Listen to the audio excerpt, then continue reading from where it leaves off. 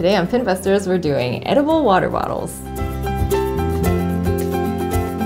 We're going green on Pinbusters today, and I got an email from Kristen out in Minneapolis, Minnesota, who'd like us to try edible water bottles. A few of the items you have to order online, but let's see if it works. So the first thing you're gonna do is you're gonna take one cup of drinking water, you need a hand mixer, and you need sodium alginate. We're gonna use two grams of sodium alginate.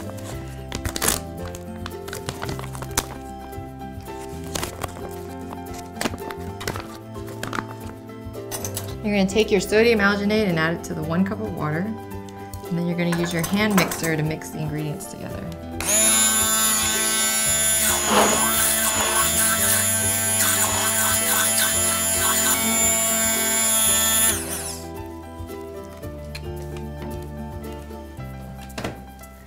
We're gonna let it sit.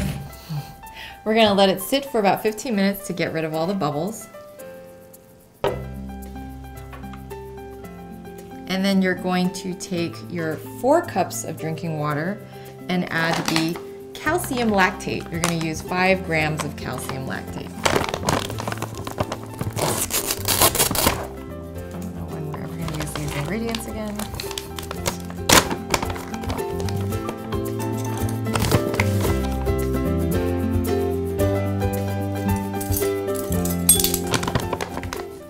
This one you're just gonna mix with a spoon.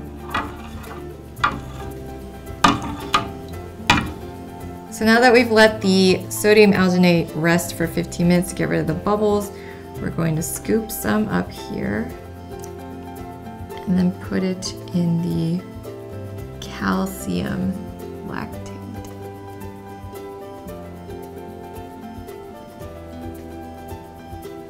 Can see it's starting to form already a little bit.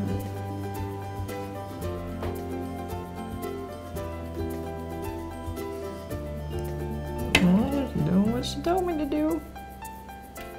And now you're supposed to mix it softly for about three minutes.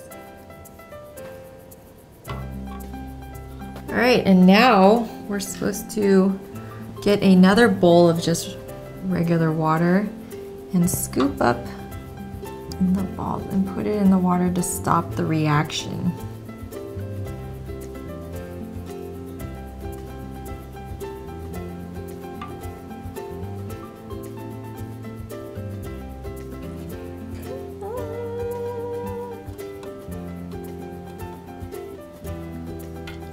Here we go, bottoms up.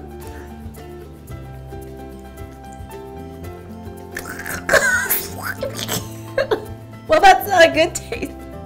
It's kind of slimy.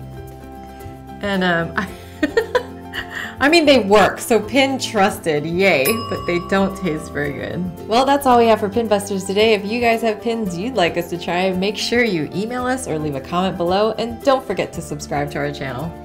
We've had fun today going green. We'll see you guys real soon. Ugh, they're like little slugs.